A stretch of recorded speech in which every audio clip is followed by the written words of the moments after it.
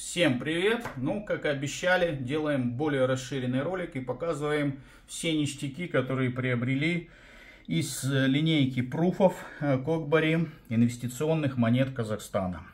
Вот перед вами линеечка, полная линеечка серебряных монет. Вот немножко только лоханулся и поставил не по порядку. Пятерку с десяткой. Начинаем с однерки. Достаем однерочку. Самая многотиражная монета из этой линейки это унцовая серебряная пруфовская монета. Вот так она выглядит. И сейчас покажем сертификат и покажем тираж. Видим, тираж у нас 640 штук. Здесь вот нам попался 594. То есть близко к финалочке. Так что вот такой вот номерочек. Показываем двоечку. две унции серебра. Пруф. Вот специально кручу, чтобы немножко словить прекрасные моменты перелива. И вот Игорь Павлович там показывает, что у него есть 10-унцовая простая и вот пруф. Но давайте все-таки 10-унцовые. Вот сейчас хорошо видно, да, разницу пруфа и 10-унцовки обычной. Но потом еще мы с десяточкой сравним, там вообще будет прекрасно видно. Так, двухунцовочка у нас. Сейчас посмотрим, какой у нее тираж. Достаем сертификат. Вот он такой сертификат идет. Номер 173. И тираж у нас всего 400 экземпляров. Так, дальше пошли пятерочка. Еще раз напоминаю, а, из-за того, что капсулы сделаны такие же, как на э, простых инвестиционках, а это очень плохо для тяжелых монет.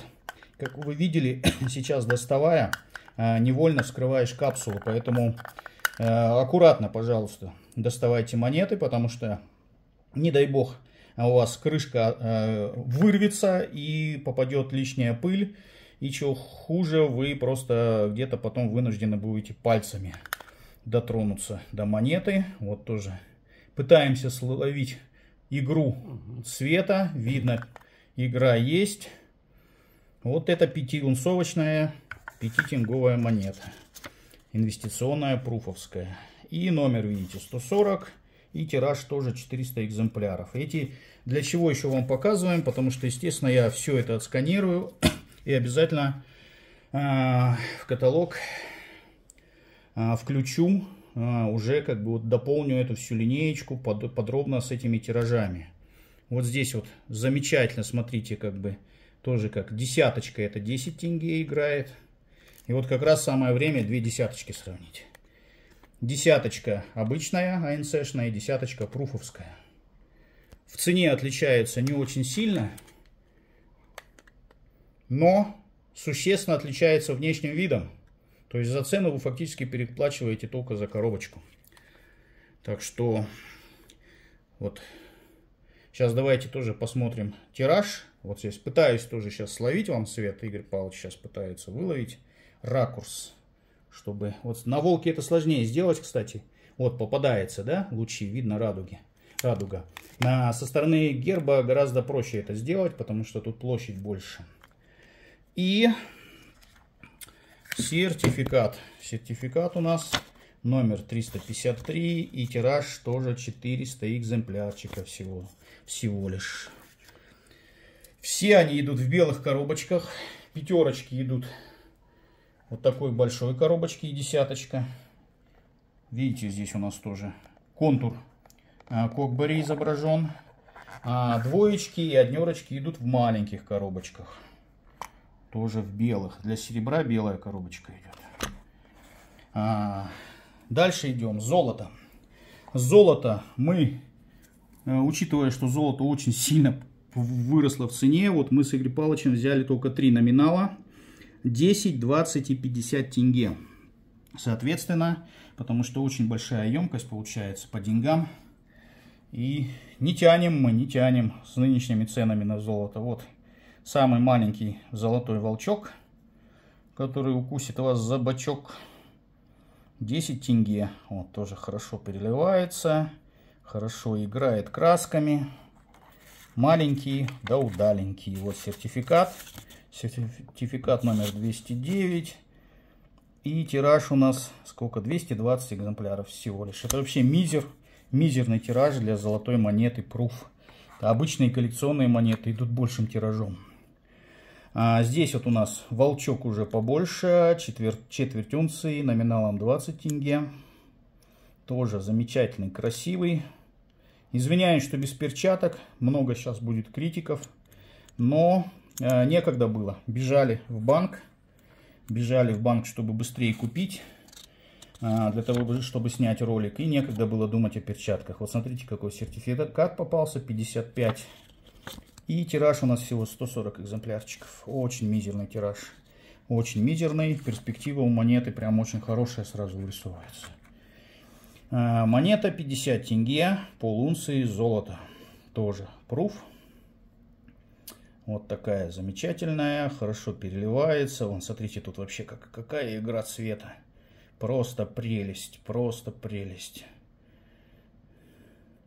И смотрим сертификатик. Сертификат у нас.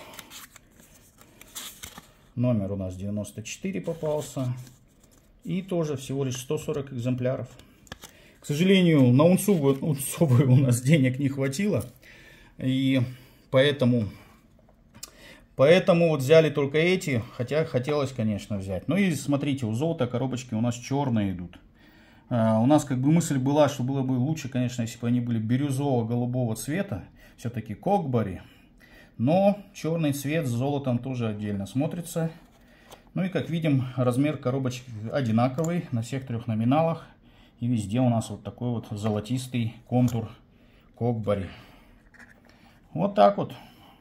Вот сегодня, как говорится, увидели неожиданное пополнение в таблице. И бегом-бегом прорысачили. Пишите в комментариях, э, сколько штук давала ли в вашем городе в руки. В Караганде давали по одной штуке всего лишь. А, одноунцовых в Караганде по таблице было 35 штук в Караганде. Двухунцовых, по-моему, 20, 5 и 10 тоже всего лишь по 20 штучек. А, золото я сейчас не помню, не смотрел в таблице, но тоже было определенно немного. Так что, говорят, в Астане давали по 2 штуки в руки. Но Астана у нас как бы город избранных, там дают всегда больше чем всем остальным. Вот, вот, вот, смотрите, Игорь Павлович поймал ракурс, где замечательно на 10 унцовкой идет игра света на Кокбаре. Вот такие ракурсы. Ради таких ракурсов стоило это все купить и потратить на это кучу денег. Ну и для серебра, вот, для серебра вот цены сегодняшние. Завтра цены будут уже меняться. Кто сегодня не успел взять, а многие сегодня просто не успели взять Завтра цена может быть уже больше, может быть меньше. Но однозначно вот примерно плюс-минус 5000 тенге э, на самые крупные монеты. 5-10 иногда. Так что вот постараемся снять отдельно каждую монетку уже в шорции.